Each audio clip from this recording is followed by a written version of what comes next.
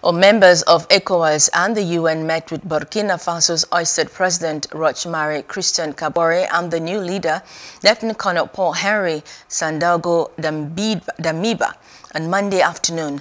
The junta named Damiba the leader of the patriotic movement for safeguarding and restoration as the country's new president. The head of the ECOWAS delegation was upbeat about the meeting. Until recently, there's been no information on the whereabouts or condition of Burkina Faso's ousted president. But on Monday, Roch Kabore had visitors, representatives from the West African bloc, ECOWAS.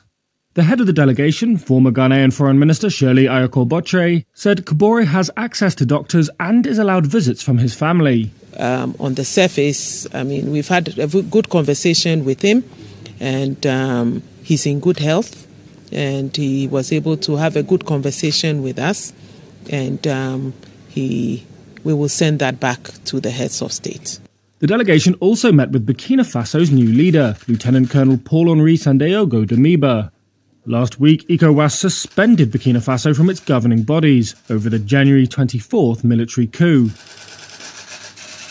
On Monday, the African Union followed suit.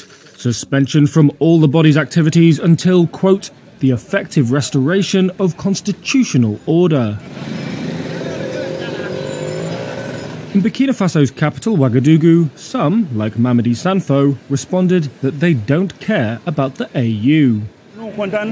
We condemn the African Union. It is the union of evil. They work for the whites, not for us. They work for their own interests. The African Union and ECOWAS suspended two other members, Mali and Guinea, over their own military takeovers last year. But while regional leaders and their allies have condemned Burkina Faso's coup, they also find themselves with limited leverage.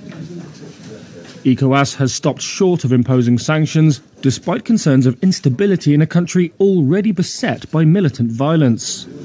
Ayorkor Botchwey said ECOWAS would work with the new administration to tackle the menace of terrorism.